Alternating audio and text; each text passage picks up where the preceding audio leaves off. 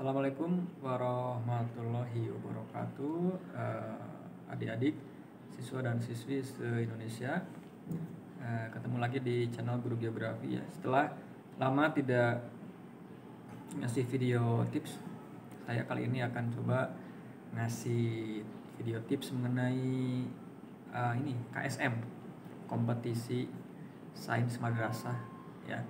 Nah ini kan eh, sebentar lagi di jadwal tuh akan dilaksanakan ya. Kalau KSN kan yang Kemendikbud ya kan, kalau yang KSM yang eh, madrasah, yang aliyah, yang pesantren gitu.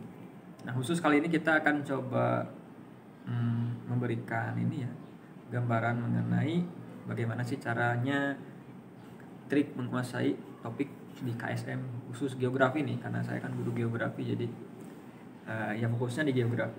Ya, sebelumnya jangan lupa sebelumnya untuk subscribe silakan ya nanti akan ada update-update lainnya ya, pembahasan soal dan lain-lain.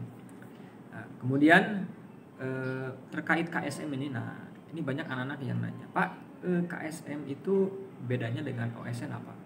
Nah, bedanya itu kalau KSM itu dihelatnya dilaksanakan lewat Kementerian Agama ya kan. Kalau yang OSN Kemendikbud gitu ya.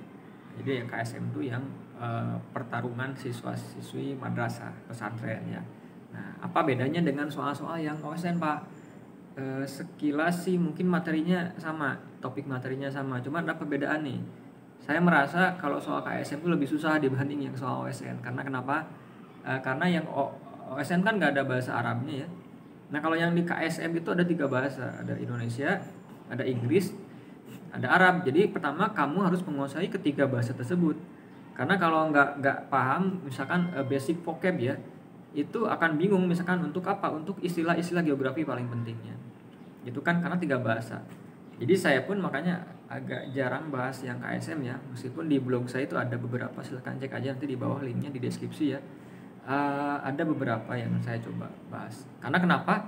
Soal KSM itu eh, ada bahasa Arabnya. Misalkan ada ayat apa ya, kemudian kamu mencoba menyimpulkan itu ayat berkenaan dengan fenomena geosfer apa. Nah kan bingung kalau misalkan nggak tahu gitu kan. Jadi yang paling penting pertama pasti kuasai materinya ya banyak baca. Topiknya sih sama dari kelas 10 sampai kelas 12. Kemudian ada gambar-gambar juga ya. Gambar-gambar banyak tuh yang di soal-soal KSM tuh. Ya. Nah, di, di mana soal downloadnya ada di blog saya silahkan dicek di gurugeografi.id ya. Nanti cari labelnya KSM geografi, KSM geografi ada. Banyak gambar-gambar juga. Jadi eh, ya sering lihat gambar gambar delta sungai gambar meander gambar gunung gambar ya macam-macam lah ya. Baik lagi ke yang tadi. Nah yang si soal KSM ini bahasanya. Bahasa jadi ya memang bahasa Inggrisnya harus oke. Bahasa Arabnya juga. Saya saya banyak juga di grup saya di grup grup geografi yang telegram ya. Jadi jadi saya sering nanya juga ke anak-anak yang pesantren nih. Kalau misalkan ada soal yang Arabnya nggak ngerti saya tanya ini ini ayat apa? Baru bisa saya cari saya simpulkan. Karena saya nggak hafal semua se full kan Quran gitu. Nah, hanya beberapa tips saya beberapa kosakata yang uh, mudah diingat. Misalkan uh, Jabalun kan misalnya gunung ya Bahri Bahrun uh, air ya pokoknya. Kemudian ada uh, Ardi Il Ardi apa itu kan uh, permukaan bumi apa ya tanah itu. Jadi jadi cari kosakata kosakata yang berkaitan dengan geografi yang bisa memudahkan kalian menebak gitu ya. Nah, karena ada beberapa ayat yang saya juga nggak tahu ada kekeringan tuh saya saya belum paham. Saya tanya juga ke anaknya tolong dong ini yang anak pesantren ini apa nih ayat apa? Karena ada Arab gundul ya ya kan ada Arab gundul saya nggak paham gitu. Jadi ini ini memang murni. Kalau yang kalian jago bahasa Arab ya di pesantren di aliyahnya belajarnya dengan bagus ya sering tanya ke guru bahasa Arab ya mengenai nahu sorofnya apa itu akan oke lah nggak bakal terlalu eh, maaf ya, terlalu banyak bingung. Jadi tolong persiapkan eh, tadi itu. Ya tolong persiapkan vocabnya bahasa Arabnya bahasa Inggrisnya. Bahasa Indonesia sih nggak terlalu masalah ya. Jadi gitu. Ya cari ayat-ayat Quran yang berkaitan dengan fenomena geosfer saran saya kamu buka Quran bikin list misalkan gitu ya. Yang pertama yang terkait dinamika litosfer terkait atmosfer. Yang hujan ada kan ya itu ada yang terkait dengan kekeringan ada yang likuifaksi gunung api kan ada ayat-ayat Qurannya banyak kamu cek di, dirangkum gitu. Dibuat ikhtisar nah jadi biar nanti kalau ketemu oh ini ayat ini. Cari kata-kata kuncinya ayat mana katanya misalkan yang ada. Waminan laili fatahajat bi apa kan kalau ini misalnya itu kan uh, waminan laili laili kan malam ya gitu kan gampang ya gitu. Nah walaili daya gesawan hari idat ajala maholakot dakar wal misalkan itu lail oh ada lailnya berarti tentang malam. Itu kan itu kan contoh bagaimana cara menebak. Kan gampang kosakata kalau lail ya gitu lail nah nah ya wasamsi wa duaha wa qamari datalaha wa nahari dajalaha kan. Wasama iwa mabanaha wa nafsi wa masawaha kan gampang ya kalau samsi wa matahari. Jadi yang lainnya kamu kamu cek ada kosakata kosakata yang yang agak jarang ditemui gitu ya. Karena kan kalau fenomena kekeringan likuifaksi kan mungkin agak spesifik ya itu goncangan gempa ya halta hadisul gosia hujuhu yomadin hosia kan itu ya. Amilatun nasibat asnaron naron hamia dan bla bla bla. Itu kan oh itu yang tentang gempa. Tapi kan ada yang spesifik kamu cari gitu ya.